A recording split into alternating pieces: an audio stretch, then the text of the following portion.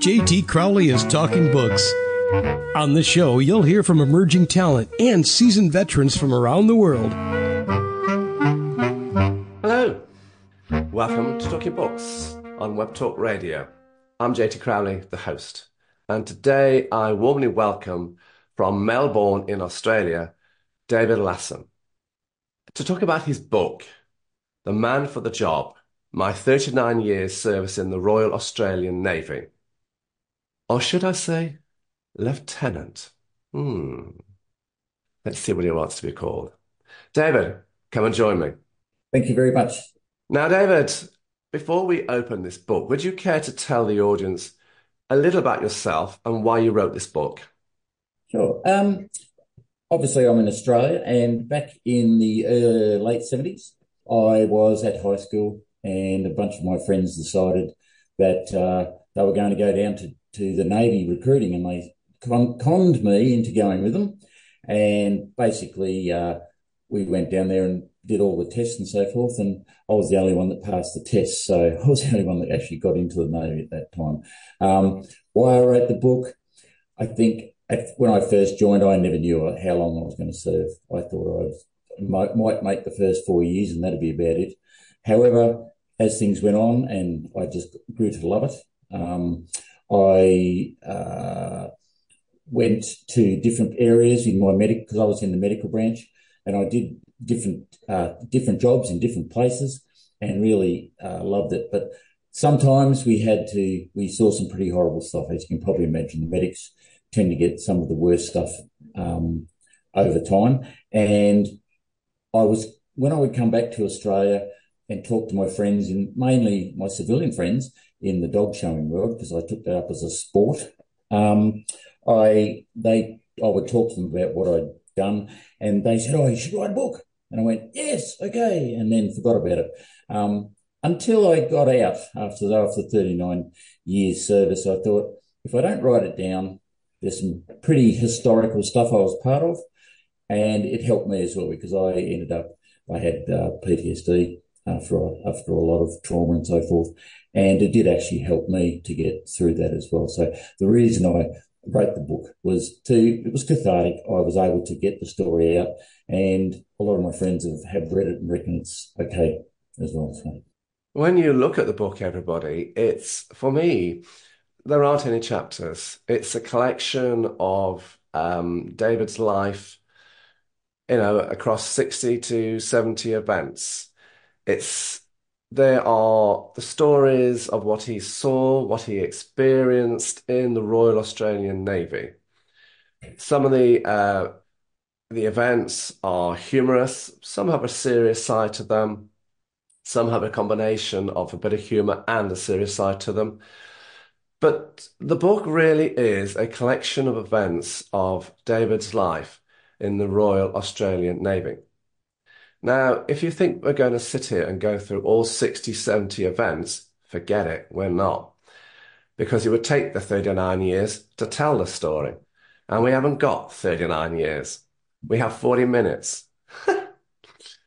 so, David and I have agreed beforehand as to where to focus on the book. But if you want to know a little bit more about himself and his book, then you can go to his website, www.davidlassam.com or his publisher's website, Xzebras, www.xzebras.com.au. David, you have led a very fascinating life within the Royal Australian Navy, particularly in the Medic Corps. So I want to go to the first area, the first event that we agreed upon, and that's HMAS Albatross 1970 to 80. And if you want to know what HMAS stands for, everybody, I'll tell you. It's either His or Her Majesty's Australian Service. I'm intrigued, David, to see what was life, you know, like for you on these bases. Um, you you talking about the crash team. You talk about uh, the emergency call outs you got to Moruya, the hospital windows, the laundry situation.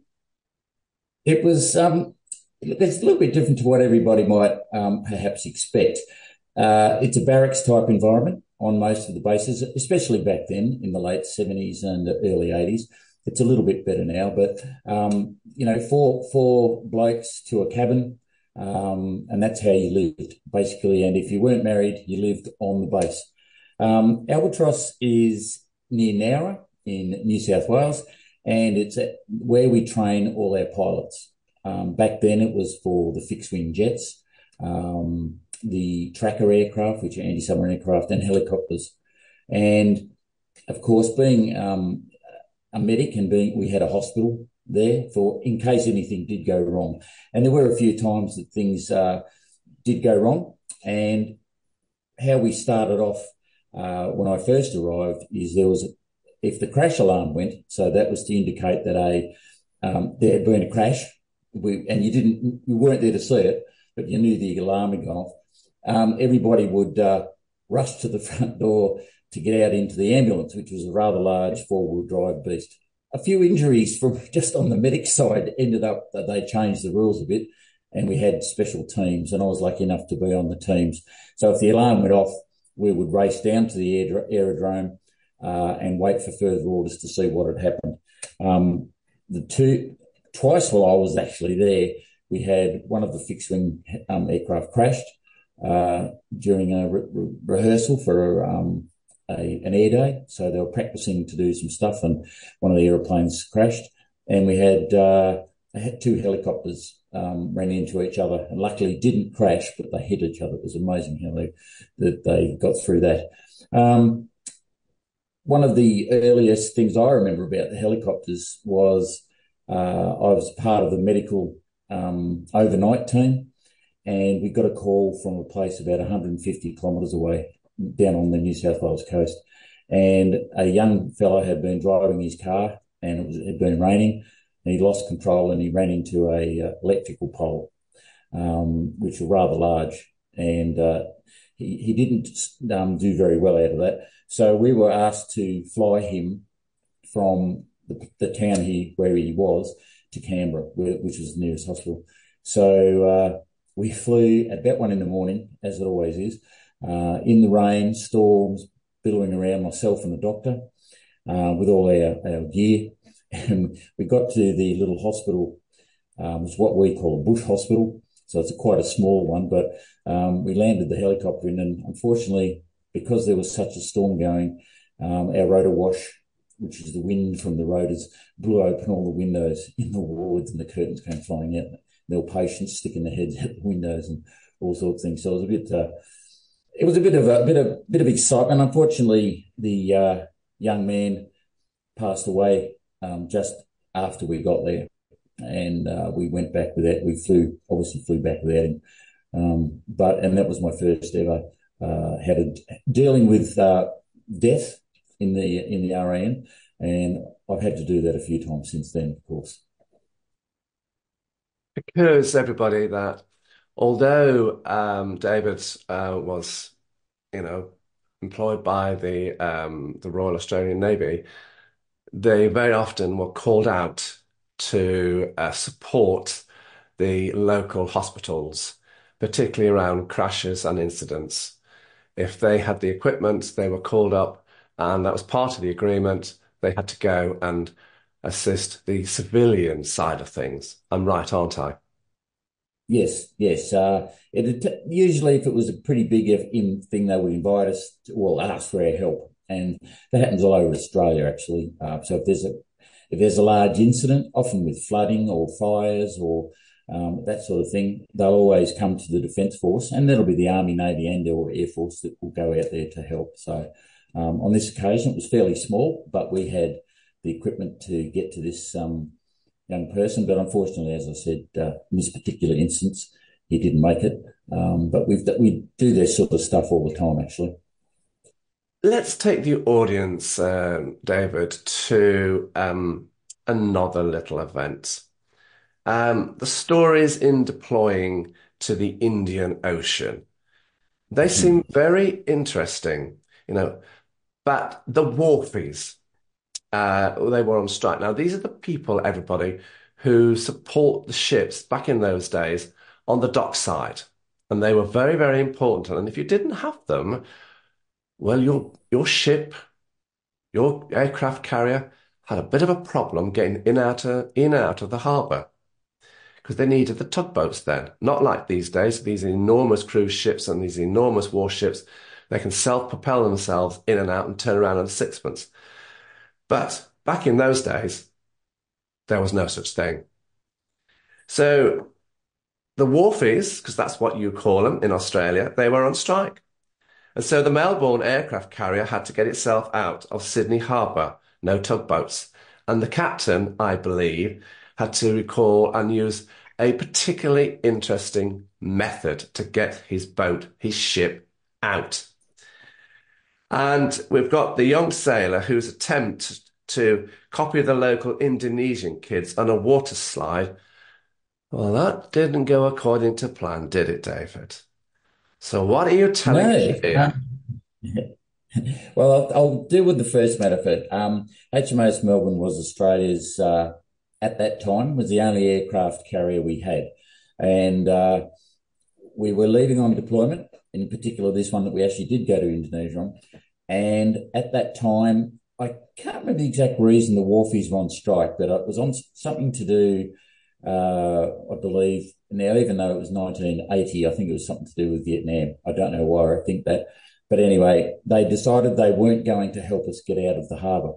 So the captain had to re, uh, go back to stuff that they used to do in World War II to move ships around because a lot of the ships back then didn't have the ability to move, uh, as you suggested, like the big liners do nowadays, with the propellers that move them at the front end and the back end sideways. So what the captain did, as we were all standing on on the uh, the flight deck as we do in our lovely uniforms, he decided to let go all lines, which is except for the aft line, so that the ship could pivot off the the with the back end still attached to the wharf, so the, the front could come out. So what he did is he dropped what we call the pick or the anchor. Now the anchor on an aircraft carrier, as you might imagine, is very large, and he dropped the anchor in harbour. It went straight to the the bottom as it does, and as he he gently ordered them to start to reef reef it in, and because it had gone off slightly at an angle, by reeling it in, the whole bow moved out. So we went, went towards the port side or the left hand side, and he picked it picked the pick up and dropped it again. And he just kept moving the front until he had a straight run out from our wharf position straight out into the harbour where we could then turn right or to starboard and away we go. Um, so that was how we did that. And I was most impressed as a young sailor to be standing right on the bow looking down, thinking, "Oh, this is pretty amazing to watch this sort of thing occur." Because I'd never even heard of it. But anyway, the uh, the other part you mentioned was the Indonesian kids. Our first, my first ever foreign port of call was Jakarta, and uh, that was our where we stopped for the first time. We had a couple of days there. And what happens when we go to these places? We get leave if you're entitled, and you can go ashore and have a look at things and get in the sights and so forth. And the this particular day, young fella decided to go to the local swimming pool, and the local pool had the biggest slide you've ever seen in your life, and it had about three sections to it. So it went down, had a little bit of a bump, and down, a bit of a bump, and then down into the pool. And the pool at the end was only about two feet deep. So you could come flying down that, hit the water, and stop before you hit the other side. Um, as sailors do, we tend to be a bit silly sometimes. And the young guys got up the top and were watching the, the uh, young Indonesian kids who'd been there and done these sort of things um, all the time. And they were standing up and sliding down like they were surfing. And this one particular sailor decided he was going to try that. And he hit the first bump and fell over. And as he fell, he dislocated his neck um, at a very uh, important part of the neck, obviously. You don't want to dislocate anything there. And he's basically slid down the rest of the slide and landed in the water. Um, luckily for him, the uh, one of the other sailors, one of the senior sailors, had been at the same place, and he saw what had happened, and he immediately jumped into the pool, as I said, which is only two feet deep, and went straight to him and would not allow anybody near him other than himself. And he just managed, and he held his head, um, and he had another couple of sailors come and hold his body so that he would not move his head. Um, and he then called for an ambulance to come, and they brought him back to the ship. Now, back then, the hospitals, perhaps in Indonesia, weren't as nice as we'd hoped. And so they decided to bring him back to the ship. So there we were looking after a young bloke who was literally um, paralysed from the neck down. So at that time, we had no idea how how how quick he was. Um, but interestingly, how we then moved on from that to actually be able to still do our job, which was to fly aircraft at sea, was quite um, an amazing act. And what we did, we had him in the sick bay, especially um, on a special bed, and we sandbagged him. So we had little sandbags, and we placed them all around his head and neck so that he could basically he couldn't move. And what we did to maintain our ability to fly, um, because the if you've seen the war movies or the other and more more of the common ones, we have steam driven catapults under the deck, but they sit right above the sick bay. So these things put out a massive amount of energy, and when they fire, the whole place shakes. So to make sure that we didn't he didn't get hurt um, when we were firing the aircraft on, we did practice launches with the machinery and I was literally on the telephone, standing by, looking into the ward, and the doctors were all around him. And they would say, Right, we're firing now. And they'd fire the catapult at a certain um, amount of, of uh, steam pressure. And the whole place would rattle. And then they'd ask him, Did that hurt? Are you okay? And we actually got it up to the point where we could launch aircraft and not affect the patient. So we took him then, rather than go to uh, Indonesia as I said, Indonesian. We went to Singapore and uh, we managed to keep flying and doing what we were supposed to be doing back in those days, which was during the Cold War, of course, um, do our flying stations and following submarines and other things. And this young bloke was taken off in Singapore, eventually flown back to Australia. And the last thing I heard was that he actually was walking again. He amazingly didn't rip any of his nervous cord. He just was bruised badly. And he was extremely lucky because if the Navy personnel who looked after him in pool hadn't done what they had done, I would be guessing that he might not have made it. So that was uh, very interesting from our point of view as well, because I'd never had to, we, we had to do all sorts of things for this poor young bloke. But um, I, he was obviously discharged from the Navy because we couldn't hold him for, after a certain while. Um, but he was looked after, and they, um, as I said, he uh, he came good. And the last I heard, he was able to walk. So I haven't heard since it was many years ago now, obviously, but um, I, I haven't heard anything else about him. But yeah, that's how that went. And I bet he avoided water slides. yeah, so I, uh, it was um, one of those yeah. things that sailors do, and you just oh, you shake your head and go no, but they did anyway. I, I did notice, Dave, how you very carefully tiptoed around the issue. You know, when the sailors are in port, you generally tiptoed around. Oh, sometimes they do visit a few salubrious places, and we'll move on. Yes, no moving on. Let's go to the next uh, um, area that I want to go to: cockies. Now, this is the abbreviation for cockroaches, everybody, and we had to go here. Now, Dave, what's the story around the cockroaches on the Melbourne aircraft carrier?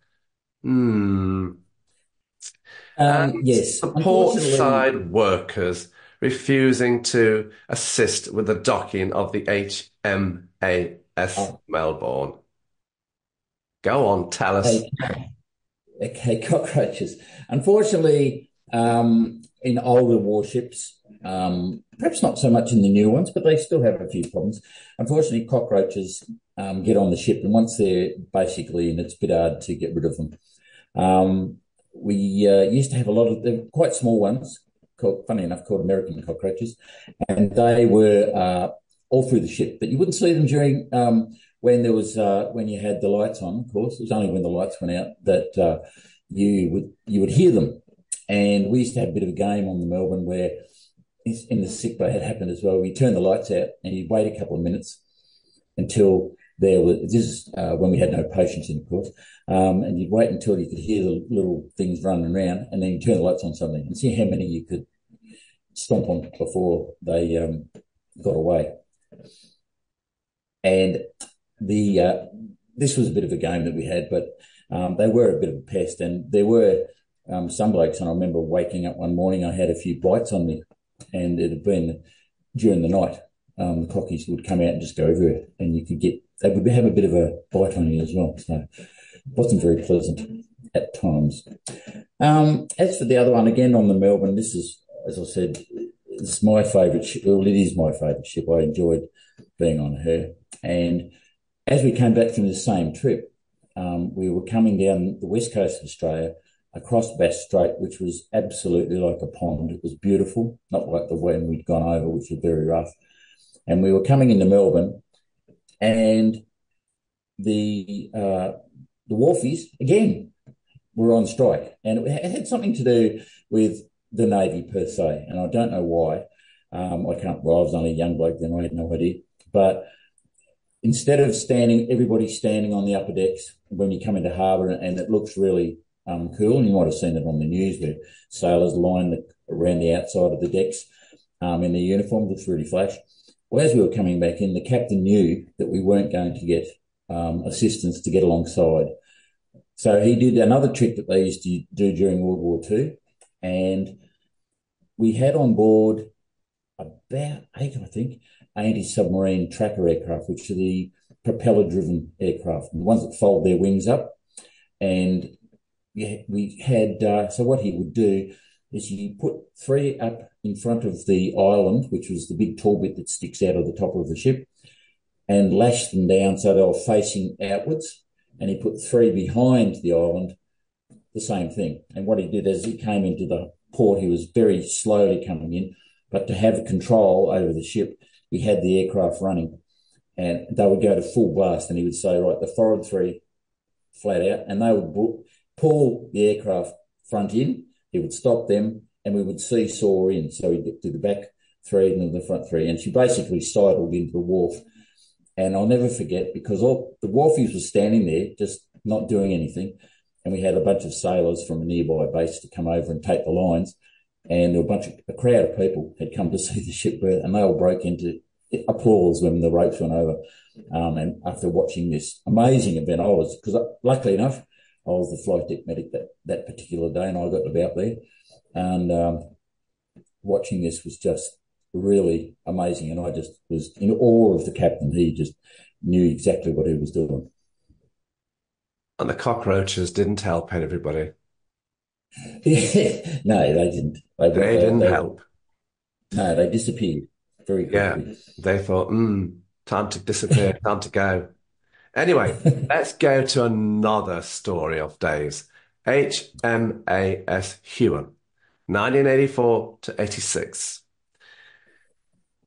You enjoyed your time uh, there being a Taswegian, because this is where we're going to, Tasmania, everybody.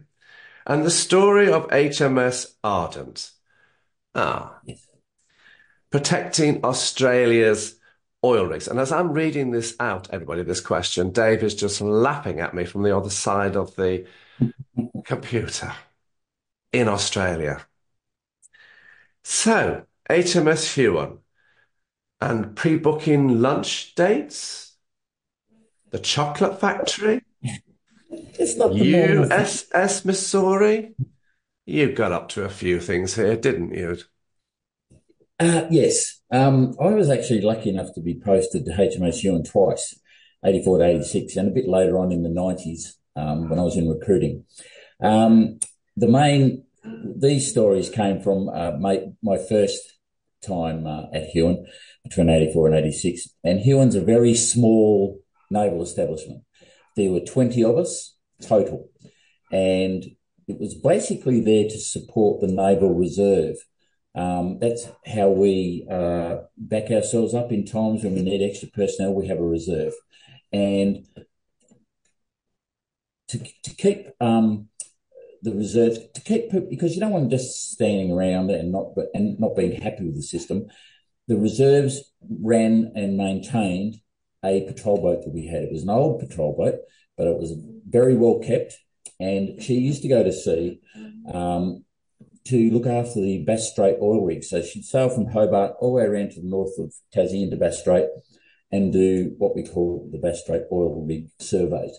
And they were just there to show a presence and protect our um, oil reserves as uh, as they were then.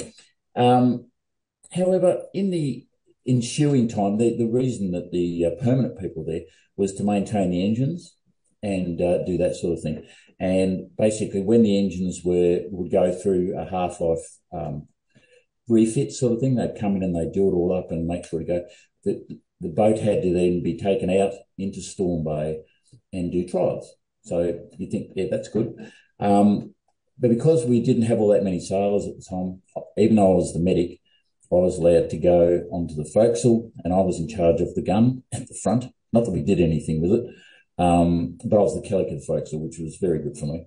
And what we would do is we go out into, into Storm Bay and run up and down at all rates and knots, do turns and so forth, just to see that the boat was fit to go to sea.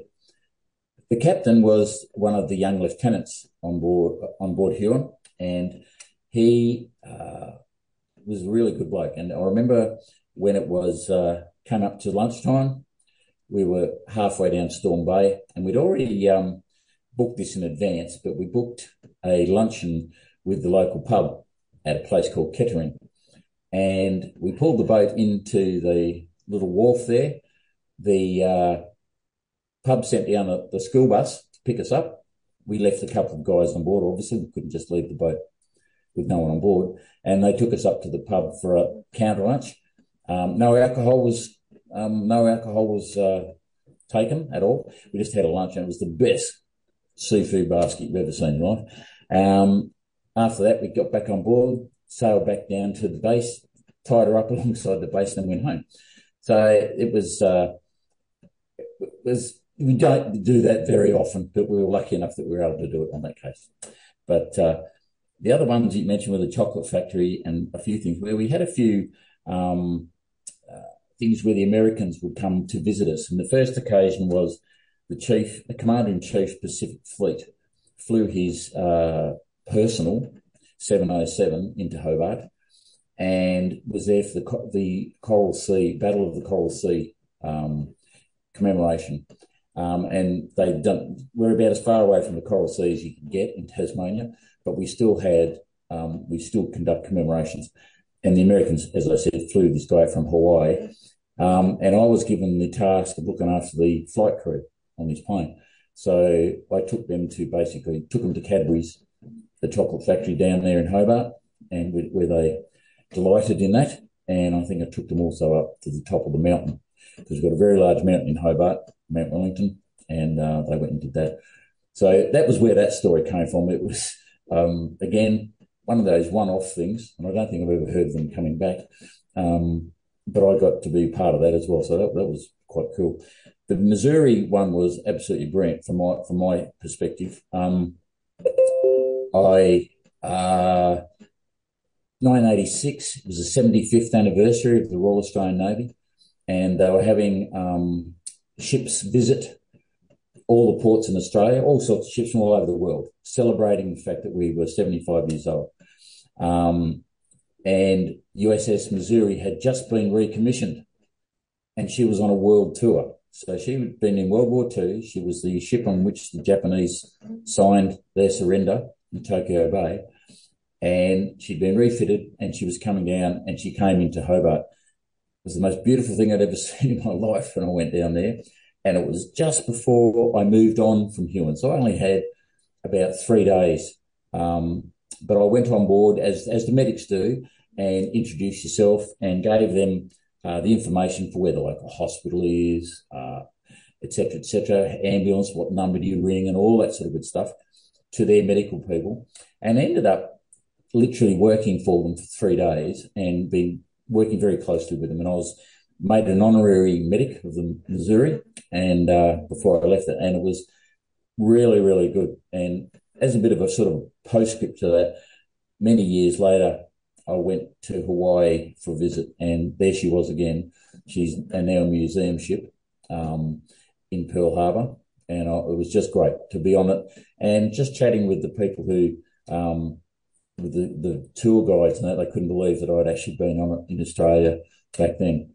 But it was a great, oh, it was an awesome feeling to just be a part of that and go on this absolute battleship. And where the Japanese signed the surrender was a brass plate in the deck, in the wooden deck, because it was wooden, it was amazing.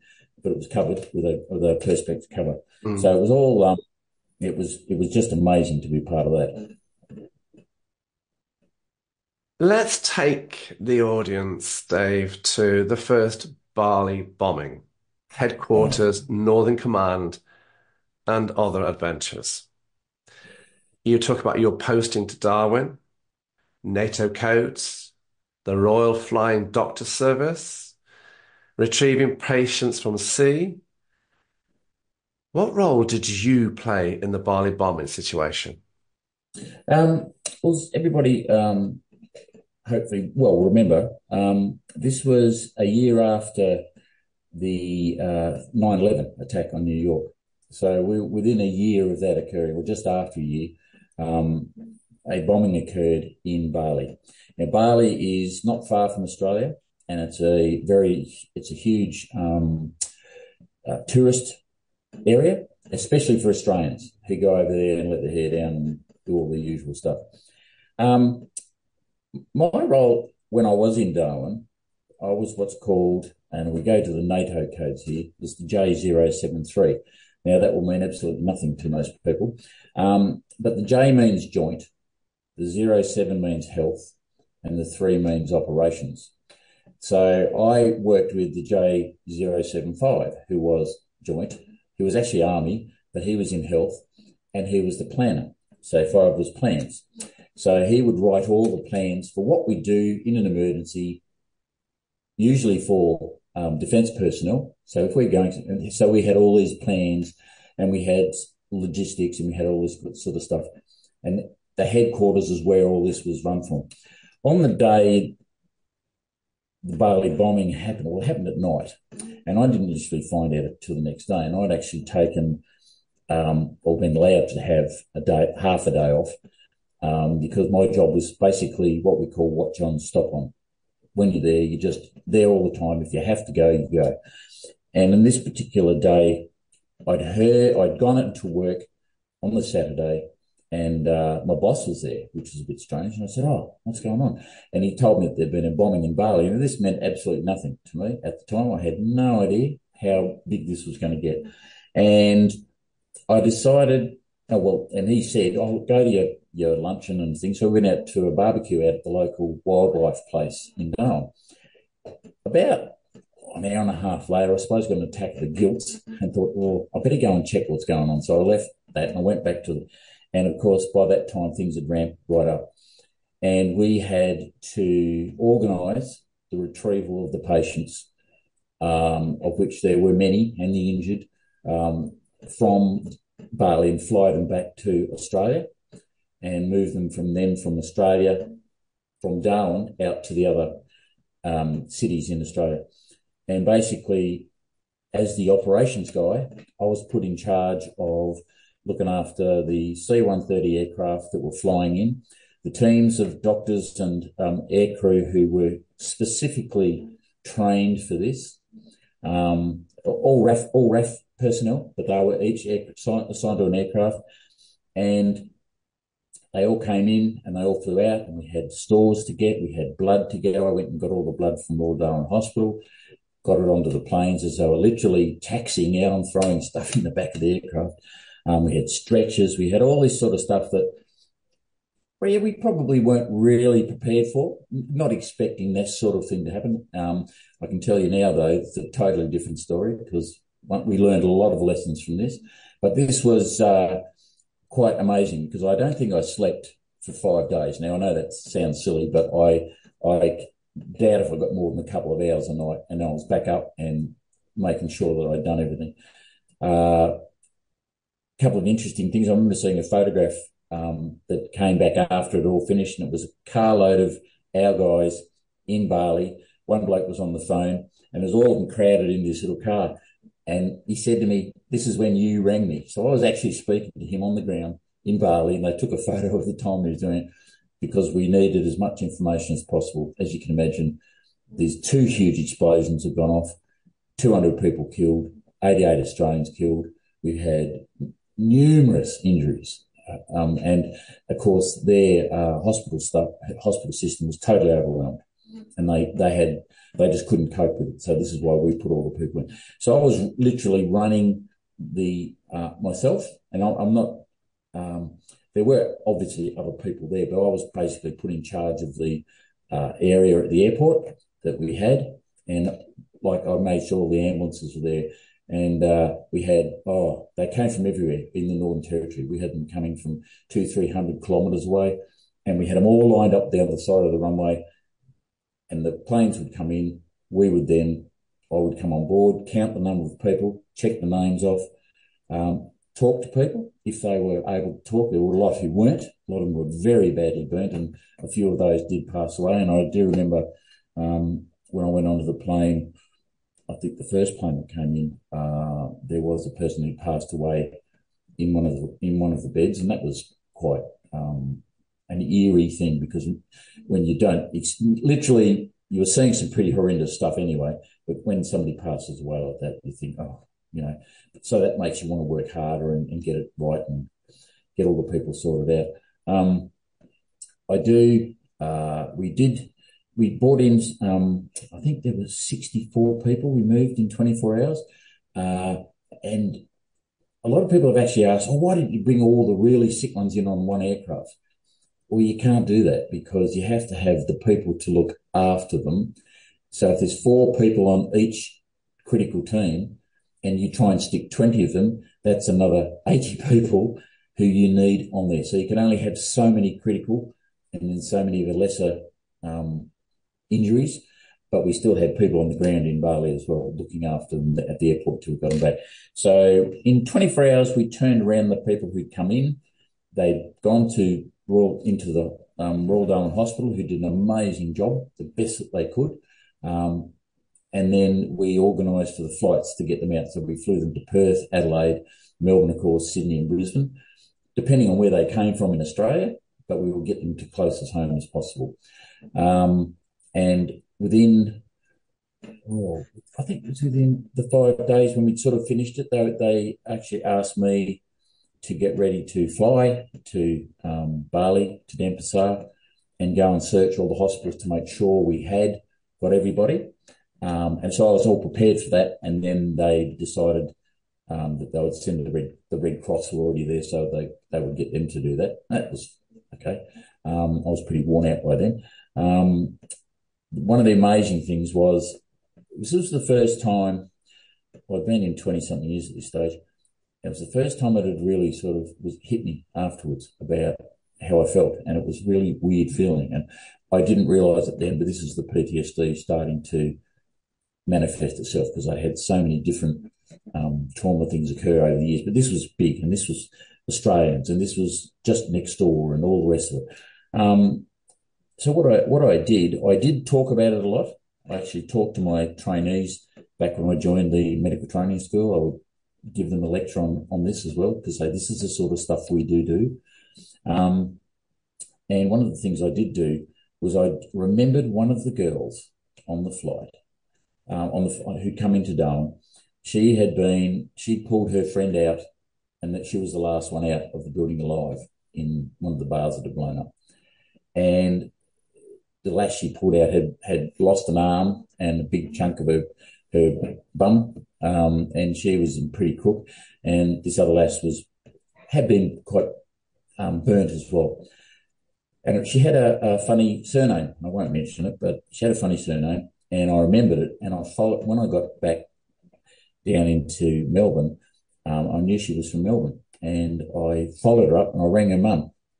I said, "Oh, look, just out of the blue, I've just rung her mum and said, Oh, would you mind if I came? Do you think she'd mind if I came and say, so I could say good day?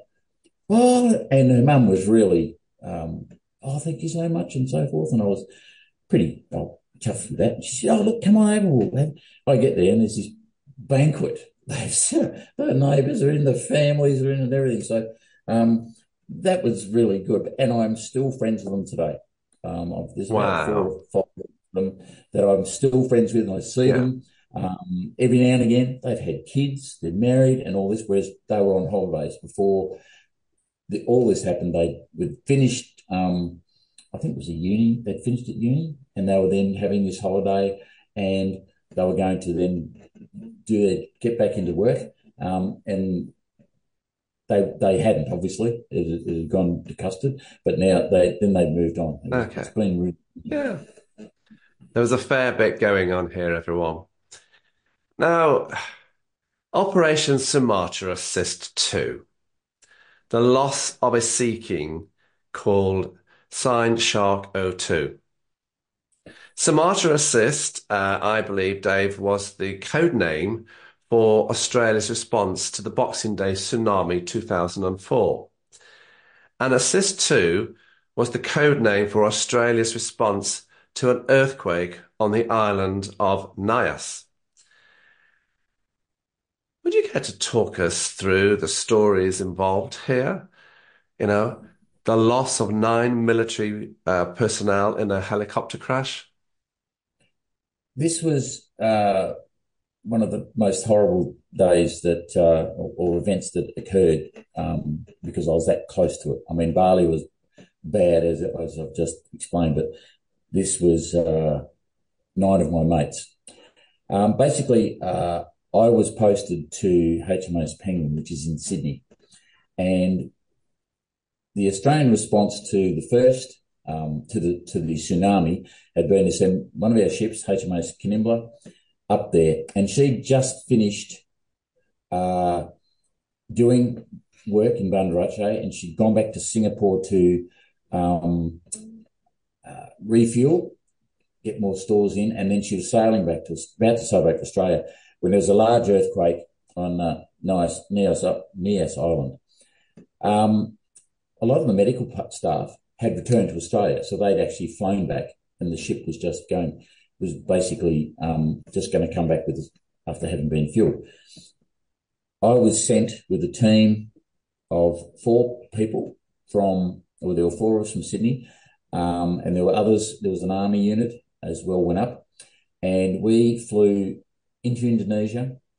We landed um, in Jakarta, put up overnight, um, which was a bit hairy because there were being bombings in um, Jakarta at that stage, and the hotel was sandbagged, so it's sort of looking a bit Beirut like. And we then caught a, uh, we went there by 707, and then we caught a C 130 to the area just off Banda Aceh, because that was where the next stop was, and then we flew to Nias. And I remember landing in um, this little um, this uh, airfield, and when we opened the back door, there were armed guards everywhere and a whole bunch of, of soldiers. And initially, they thought we were actually invading. They actually asked us if we were invading, but we weren't, of course. We were there to help with the, the medical bits and pieces. And I um, went to the uh, we sorted all that out and we flew out to the ship. And once we got out to the ship, we sorted ourselves out. And the next day was our first mission. And we had two helicopters flying. One was Shark 02.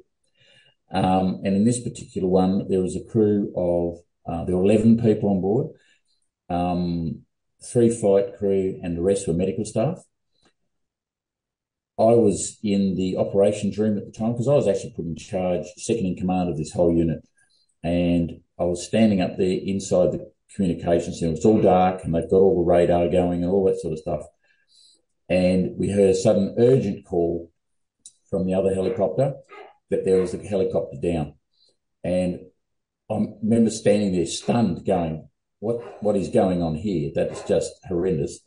Anyway, it turned out that, um, it had crashed in a little village called Amandraya up in the highlands. And of course, everybody starts to go a bit um, panic about who, what's happened, who's there, has anybody survived. The other helicopter immediately um, landed and two of the uh, 11 had been pulled from the wreckage by the locals. And those guys were immediately flown back to the ship, but there were no other survivors. So uh, nine people perished. We looked after the other two guys when they came back to the ship, but it was knowing that we just lost half of our medical staff. Um, was pretty uh, pretty horrible, as you can imagine. And of course, we, this was day one of the of the mission that we were now especially looking after these other people over here, and now we'd had this happen. But we continued, and that was the right thing to do in their memory as well as we we had the job to do. We had to get on with it. So um, even though, well, not even though they had perished, we went on and did a what I would say was a brilliant job in how we handled the rest of this town, and we got some of the town water back to people, and had run medical clinics and did all that sort of stuff. So it was pretty, it was pretty horrible, as you can imagine. Um, Dave, and finally, the storyline in USNS Mercy 2006. Can you very briefly tell us about this story? Okay. Um, back in 2006, again, I was back in Sydney and I got a phone call from the Admiral's office. And it's not often you get those unless you're in trouble. And I um, made my way very quickly to the Admiral's uh, office, which was across town and he um, said to me, he said, "Look, we're, we're going to we're on a mission. We're going to send an Australian team to join the USNS Mercy, which is their one of their large hospital ships. There are two of them, the Mercy and the Comfort. Mercy's in southeast on the west coast, and Comfort's on the east coast of America. And basically, um, I was to lead a group of nine, well, there were nine of us, um, reserve people, and helping the locals. So we actually went back to Banda Aceh. Um, and we did uh, Nias Island as well with the Mercy. So I led in a small Australian contingent from uh, with lots of excitement getting to the ship. And then we joined this massive 70,000 ton ex oil tanker um, and joined that in the uh, over there. We did all the bits and pieces and, and have made lifelong friends. Um, I still ha- talk to the American nurses that I serve. And when I was in um, Tucson just recently doing a book signing, um, she actually turned up and I hadn't seen her in 18 years. And it was just amazing that how, how you do have these things. But we, we had a couple of weeks on board, made a huge, and it's just the way Australians are. We, when we do things like this, we'll go all in and get the job done and we will notice for that. And uh, we all received, we did actually get um, meritorious unit commendations from um, that particular mission, which was which was very nice. But the reason we were there was to help, and and then the actual um, missions have now expanded from nine people because we were sort of the first ones to now they run to fifty and sixty people. So sure, yeah. Um, I'm curious, Dave, who would you like to see reading your books and where can people get your books from? Well, as um, who do I want to see read? Look, I reckon anyone up from 16 and up will will understand what I've been trying to put. And I, I the people that I've talked to, my friends who, as I said, were the ones that uh, pushed me into doing it, they've all come and said that it's really an easy read. Yes, it has some downs, some nasty stuff and, and there's some laughs and all the rest of it. But it's easy to read and it's just like me talking, apparently. It's just like that's how it's managed to be written. Um, I think anyone over 16 who's got anything vaguely wants to know anything about the military and how we do stuff, this is just a little bit of an aside. It's slightly different from perhaps what you might see in some of the other other books generals have written and so forth because um, I'm just a, an ordinary bloke who joined the Navy as a young medic and came up through the ranks and ended up being um, lieutenant commander. And as you as you have seen, I've done a lot of stuff over the years, and I'm quite proud of that. And um, and I've been able to do um, to help Australia and other and other nations as well. I the, the, I've spent a lot of time in Indonesia over all this over the years with different uh, missions and so forth. So yeah. There you go, everyone. There's an insight into Lieutenant Commodore's David Lassam's life. 39 years in the Royal Australian Navy in the Medic Corps. Um, so I just want to say, Dave, thank you for giving me the wonderful opportunity to talk about, you know, yourself and your book, um, you know, the Royal Australian Navy. I found it captivating. I found it funny at times. I found it very serious at times. Anna says it's an easy read, but you do tell it from the heart. And for me, that was very, very important. It's absorbing. It's absolutely um, very tense at times, everybody, but it's very, very real and it's well worth a read, everybody. David Lassam, LCDR, thank you very much for coming on my show. My absolute pleasure. Thank you. I'm JD Crowley. Thanks for listening wherever you're in the world. Until next time, stay safe